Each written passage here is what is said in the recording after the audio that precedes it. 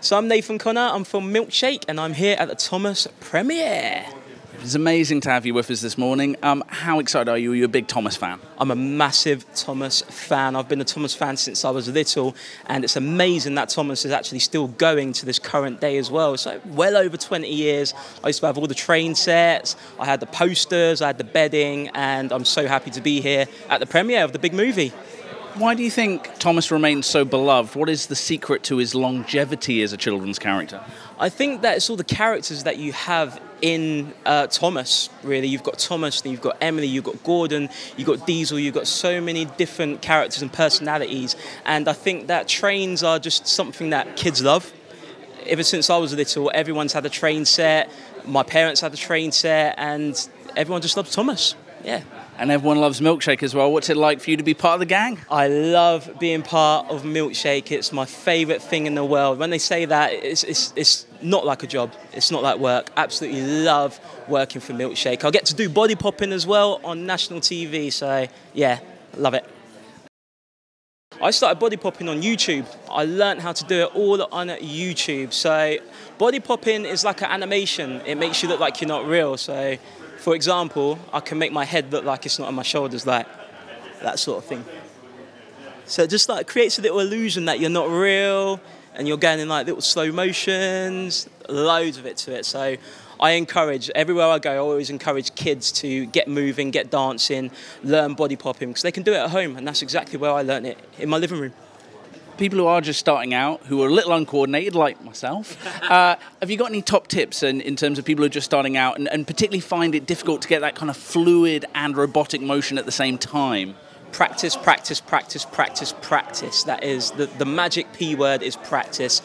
I practiced about three hours a day on YouTube, literally just practicing in front of the mirror until it gets really, really good. All the robotics, everything. You just got to practice, and then it cuts perfect obviously it really helps if you've got the right track. Is there a particular track you'd recommend for people practicing and getting that um, basic maneuvering right?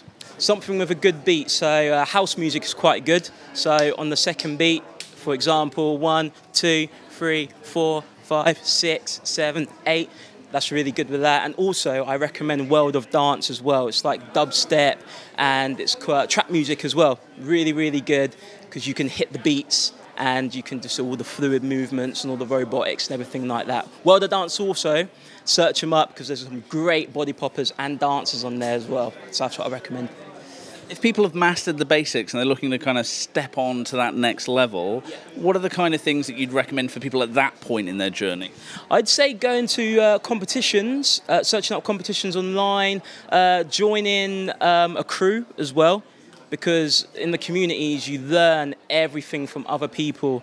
Uh, I never done that really. I never joined a crew or anything like that because I'm not actually from inside London. But in London, there's loads of dance places that you can go to. There's loads of crews, and even in Leicester, uh, Leicester Square right now, like you see the people on the streets just dancing, you know, having a good time. It's like a big family. So get into a crew, uh, get to some dance lessons, get to some, you know, speak to people online, and then uh, you'll be a good body popper love DJing. DJing is my thing. I started in 2011 at Butlins. I'd never been interested in DJing before, and then I just jumped on the decks. I taught myself how to mix, taught myself how to scratch, uh, taught myself about different music genres, etc. And then I went on from there, and I've DJed all over the country, uh, which I feel really lucky to do so. I love DJing, I love playing music, I love seeing people have a good time, and also I encourage kids to get involved in that as well, DJing and music. Music makes everyone happy.